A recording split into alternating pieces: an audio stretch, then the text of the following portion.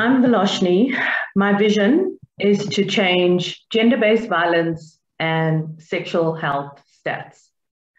So please stop objectifying me. I am here to network professionally.